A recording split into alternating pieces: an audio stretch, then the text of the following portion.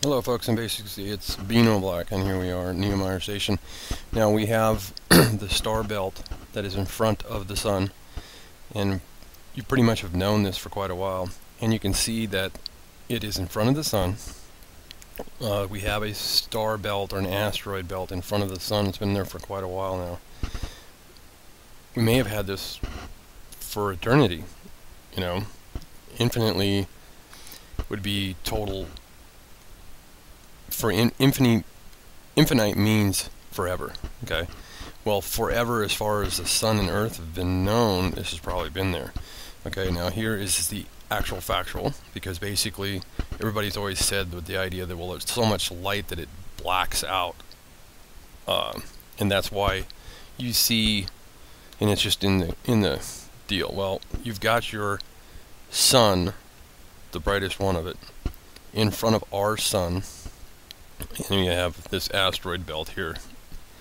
Now the amazing thing about this asteroid belt is you can see the stars here, and we'll keep zooming in on this. Basically, I'll go down here and I'll get the zoom. Now remember, when I'm pointing, you're going to know that I'm going to be pointing at all this stuff here, and this cluster here below this, and so forth. Now this is not the sun right there, okay? This is a star that's in front of the sun, okay? Which is a sun, and we have more than one sun. Actually, there was a physicist that died, and he's very famous at NASA. They've named a lot of stuff after him.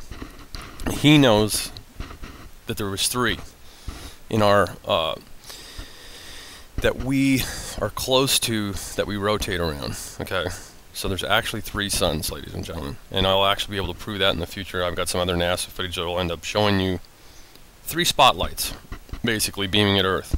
Okay, and it's no, there's tons of stars. There's billions and millions of stars in space. As you can see over here, you can actually see some around the clouds.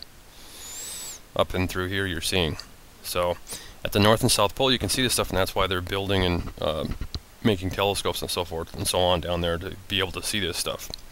Uh, and as you see through here, we're going to zoom up now. Like, like I said, when I'm pointing, you're not going to be able to uh, see my pointer right on it because when we get to the when I do the zoom up so what I'm going to do is I'm going to keep getting us zoomed in here. Now as you can see the actual factual that this is not the camera blacking this and making this spot and you're going to see we'll play the video in a little bit and it'll get darker. And you'll all see the the light curvature of the sun around this uh, basically which is a dying star uh, now, is it what we're trying to find out? Is it already completely dead, and is there actually another planet between us and the sun all the time? And it always gets hidden in the sunlight of the sun. That's that's basically still out there, but we figure that this is a hot star still.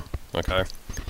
Uh, but then the blackness of it, when we do see that, uh, that's when we start getting into, well, is it cool, and is it actually a planet that rotates fast around Earth every day, and it's in between us and the sun.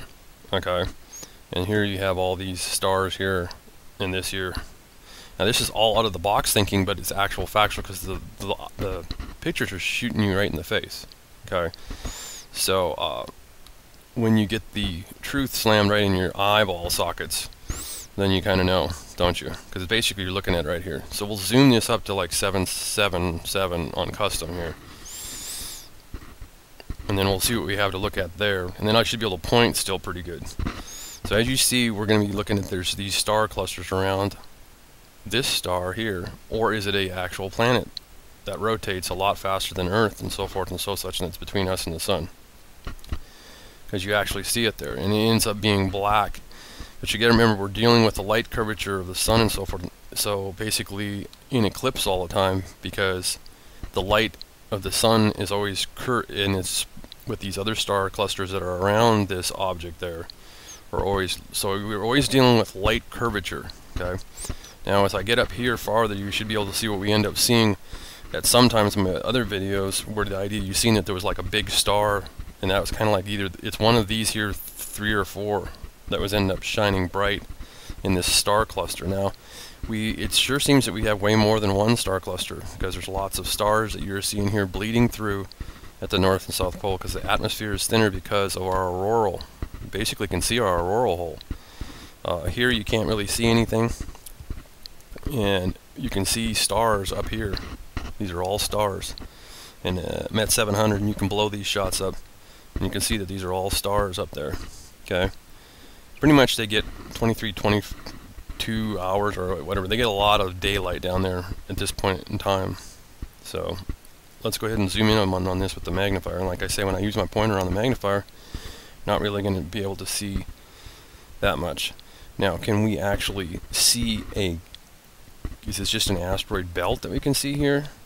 Or is it actually so clear that we can see a galaxy a long ways away? Down at this point in time down at uh, Station. So no matter what, we have this here object, because this is all in between us, which is close to one AU between us and the sun. Okay, this is all right out of that picture. I've zoomed in on this. Okay, in the Neumayer Station. Okay, now let's go ahead and zoom up with the magnifier and take a little bit better look at this stuff. And magnify to this. And there you go. So basically a star belt.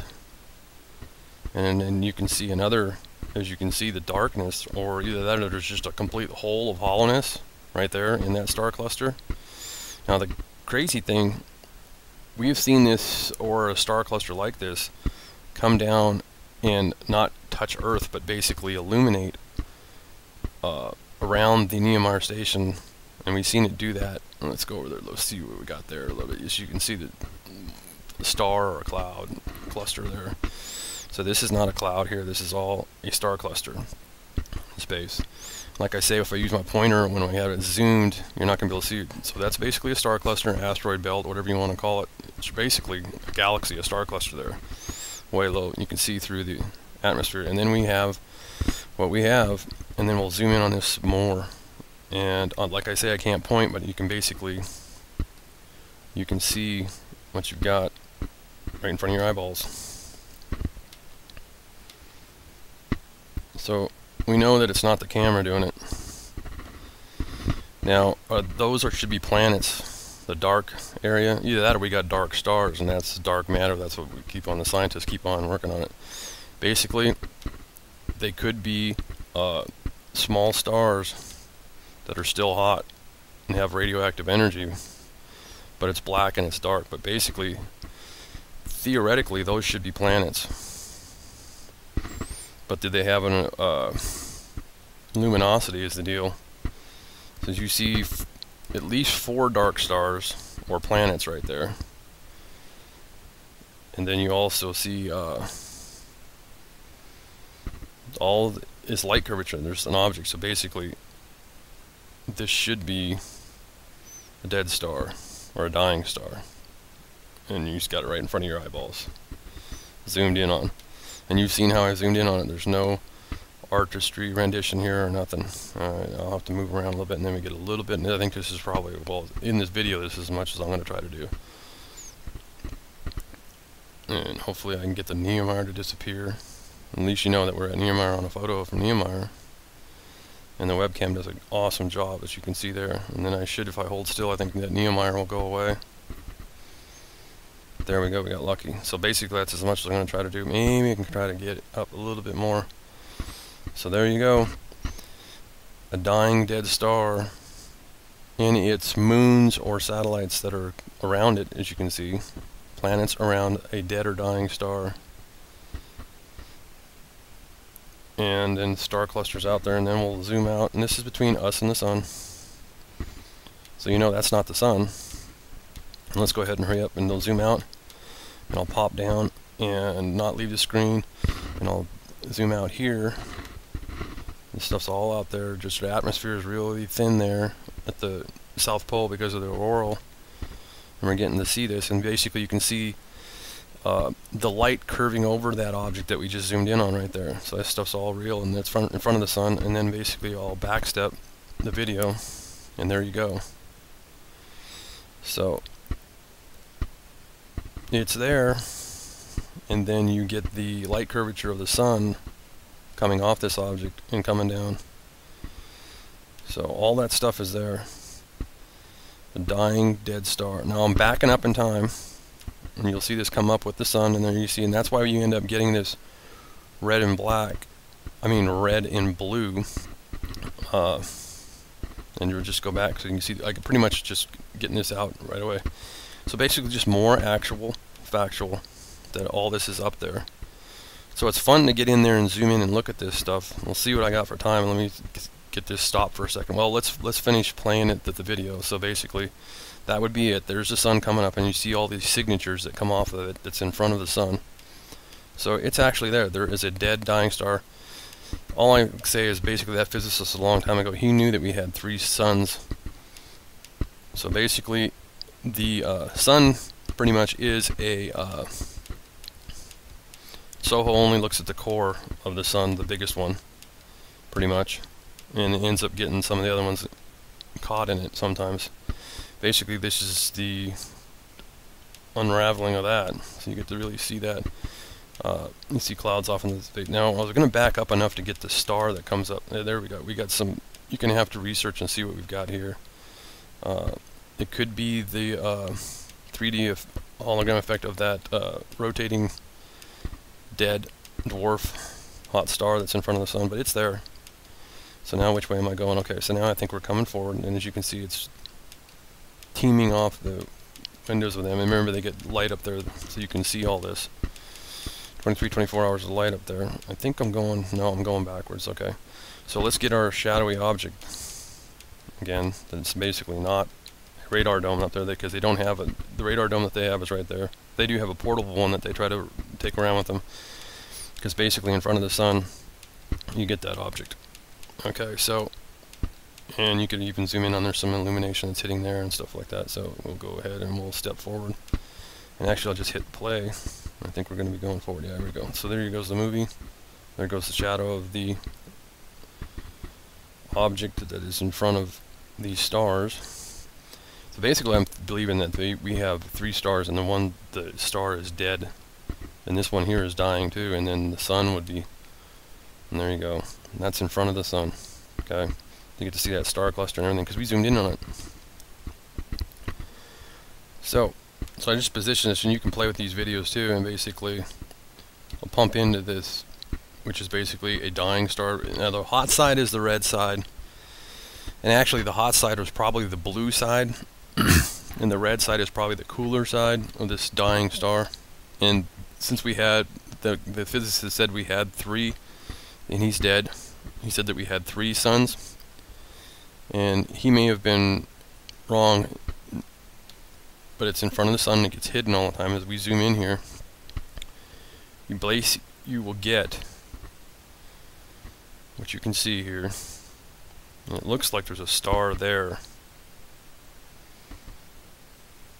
and a bunch of dying ones so we looks like we have basically factual possibly way more than one no matter what we have an asteroid belt between us and the sun constantly constantly. At least it's been there in the last two years, two, three years, because we've been seeing it in Nehemiah, and who much longer they've been seeing it. This is what is actually there. So cooler, dead, black stars, and then we have we're dealing with light curvature here around, because this is right out of the camera. As you can see, it's not the camera blacking out. All this stuff is actually there in front of the sun. And then so we get to be in a really tight shot. So there is an asteroid belt and stars between us and the sun, and you can see it right there. Because this is directly in front of the sun. Pop back out. see if I can, and I'm just going to, we're just going to back out here real fast, and we're right back at our deal. So you can play with it along through the movie, do it just like I do. You need to get the software to be able to look at this. And it's all real and it's all there. We'll pop down on this. So we've got an asteroid belt that's been in front of the sun for quite a while. Like I said, we've been watching this for over two years. So, you've been seeing it, everybody's been saying it, so it's the camera doing it. Now the camera doesn't do all this. so we have a star cluster in front of the sun. Okay.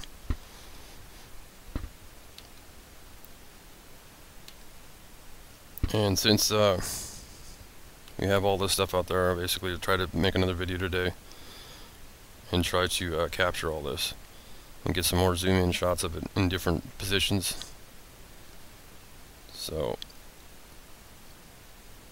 it's always been there. That's why your cameras 35 millimeters always caught not uh, it's actually caught those objects. It hasn't caught uh, lens flare. So